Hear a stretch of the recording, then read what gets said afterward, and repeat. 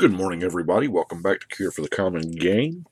Today we're going to talk, be talking about deck number 300, Arcades, the Strategist, which is a different kind of take on Doran. I actually like this guy a lot better than Doran. He is flying, he is vigilance. That right there is. And whenever a creature with Defender enters the battlefield, you draw, draw a card. So, gotta love generals that say draw a card. Trigger draw. And then each creature you control with Defender assigns combat damage equal to its toughness rather than its power and can attack as though it didn't have Defender. So this is kind of Rolling Stones and the Doran, the Assault Formation all rolled up into one. Now, notice it just says creatures you control and creatures with Defender. So it doesn't turn everything into the butt fight that Assault Formation and Doran does. It's just I think assault formation's modified to Anyway, they're they're not exact, but they're close parallels. You get what I'm saying. But anyway, three color deck. So first thing, let's look at some fixing. Of course, I have my artifact fixing, the Manalith, the Signet, Cluestone. I'm rolling through these pretty quick because y'all y'all know what these do cultivate. Now here's where it gets interesting. Is this not perfect? Sunscape Familiar, your green blue spells to play cost one less. And it's a zero three.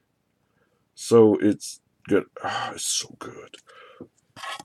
Overgrown Battlement's going to tap for a green for each creature with Defender.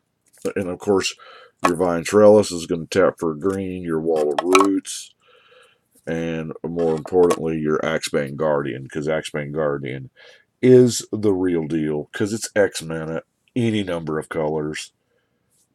Wow. Now, uh, I got the creatures divided up into two categories walls and not walls. So let's go through not walls first. While we're in ramp ish mode, I mean, it, it's not exactly ramp, it puts them into your hand. I really don't like that. I mean, but there again, would I pay another mana somewhere to put him into play? Eh, probably. Orator of Ojutai. Uh, when you're talking a flying flyer that's going to hit for four, that's not bad. Stalwart bear, uh, shield bearers this is going to, uh, I mean, this is like a champion for your team. It's going to give them all plus two. Taproot coming. Now, obviously, green is kind of where the deck is centered at. There's going to be more forest than anything else. Uh, still, it's three colors, not going to be a whole lot. But even if it's a 0 2, 0 3, that's still, you know, pretty good. And it has reach. Sentry. Well, the first strike. That's pretty neat. Drift of Phantasms, we all know what this does, except now it's a flying five beater. So you really gotta. Guardians of Meletis is a three mana six beater. Wow, look at that. The Vine. There again puts it into your hand. Of course, we are running all the appropriate gates. We have the Gomazoa and the Guard Gomazoa. Wakestone Gargoyle. Now, everybody's favorite mythic. I mean, this has the potential to be really cool. Monastery Flock. Basilica Guards. Now, Ludevic's test subject kind of doubles here. I mean, we don't have just a crazy amount of instants and sorceries. Or, oh, I'm thinking the other one. Yeah. Oh, the test subject here. Yeah, this is not the horror bounce thing. Oh, this is the 1313. Raw. Yeah. Still, it's two mana. It works. Murmuring Phantasm. It's a five. Uh, the this deck has a real real low converted mana cost. I think the tapped out said what two and a half or ish. Now let's look at our walls. And the reason why I want to look at the walls is because I'm running a copy of Rolling Stones in there as pretty much redundancy. Just kind of like I'm also running Assault Formation. Now, let's look at our walls. We got Glacial Wall. Three mana. Swinging for seven. Hey, Wall of Blossoms actually draws you a card when it comes in. So if your general's out, you're going to draw two. Same way with Wall of Omens. Now, Angelic Wall. I didn't realize the first printing of Angelic Wall was in Portal. That's pretty cool. Angelic Wall is the nuts for this. This is amazing. Jeskai Barricade. Uh, you can tell I'm rolling through these walls pretty quick because, let's face it, they're walls. I don't uh, uh, beat Link maybe Wall of Glare can block any number of creatures each combat. Wall of Resistance, and this one just keeps getting better. Wall of Tanglecord. Now this is way not bad. Two mana for six, and you can pay for reach. Now, Wall of Junk. This is this is what got me so excited. I love this one. Zero seven, two mana, and its drawback is draw a bunch of cards. No, seriously. Whenever it blocks, it returns to your hand. You cast it again, you draw another card. Whoa. It kind of almost puts a, a a situation out there to where you're like, well, it is two mana for a seven power ish beater, but do I want to swing with it or do I want to block with it? Yeah. Because odds are they're not swinging into this. Skygate. Flying Steel Wall. Now, this is a boss at one mana. Only thing beats one mana is, of course, zero mana. Shield Sphere. We've been playing with this in combo decks for years, but now it's just kind of amazing. Hover Barrier, of course, Wall of Denial, which is was good before, but now this is just Arcades. Let's just say it maximizes the value of this wall here, Wall of Denial. Of course, Stepping back in the way, way back machine for the wall of ice. Gleaming barrier. Wall of mulch is nice. You can sack a wall, draw a card if somebody's wrathing your, away your walls. We have crenellated wall that can tap to act as a giant growth ability. But my last wall I want to talk about Let's talk about Necropolis. Yes, it's five mana for zero one, but you know what? Yes, it does obviously count as a wall, so that means it has defender. Now, zero colon. So there's no cost for this ability. So at any time, you can do this.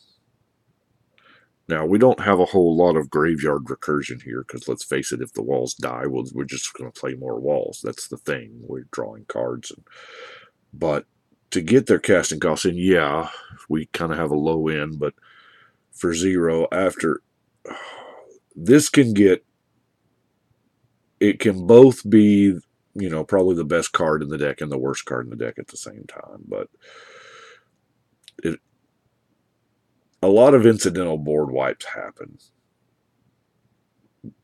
We may not be the cause of it. Somebody else at the table may be the cause of it, but you lose all your walls, throw this guy down, he can become a beating really quickly. And it may be the best this particular card has ever been. Okie dokie. Speaking of which,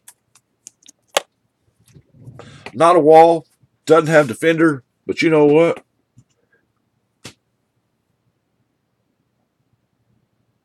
I believe I built the entire deck to where everything in here would not would be unblockable with Tetsuko on the table.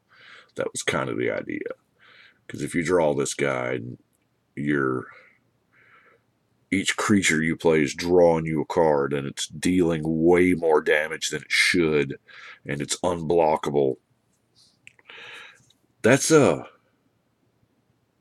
it's either going to end games or just make you a target, which there again, I guess will end games. Um, another way, just Coco. Yeah, it's uh, it's going to get you your two creatures at instant speed.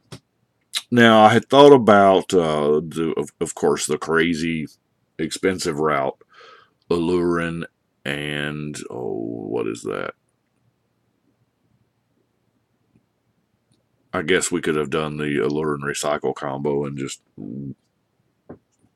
threw our deck on the table, but let's look at some pump up. Some now I'm running overrun because that that nice trample option and the three doesn't really. I mean, it's three to the front and three to the back.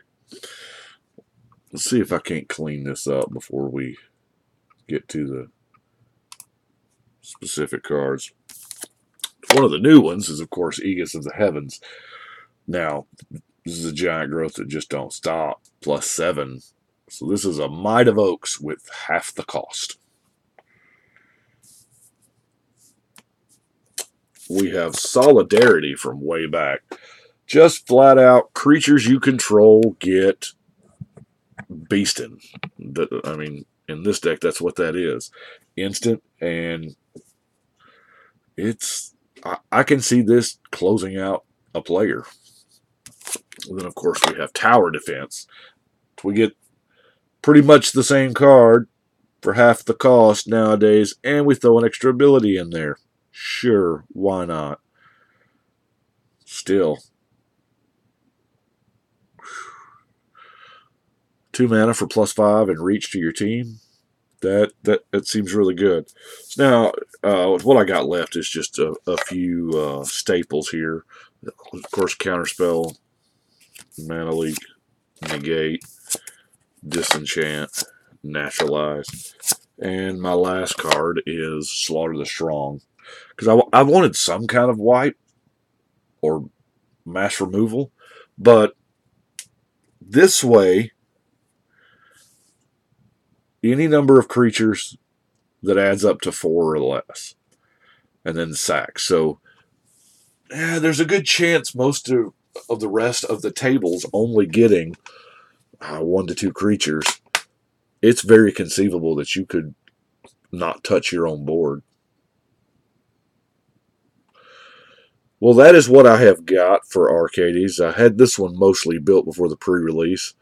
Had uh, had a blast at, at went to two pre-releases yesterday. Uh, didn't do so hot at the first one. The uh, second one had an amazing pull. There's a couple pictures of it floating around. Uh, two uh, full chromium, Vaevictis, double wrath, Tezzeret. It, it was nuts. But got all the legends except for two, blue and black. I thought I had the black one, but I guess I don't. But so we're going to keep rolling through these Core 19 decks and see what we got. I do appreciate y'all watching. Y'all let me know what you think. Right now, it's time to shuffle and cut.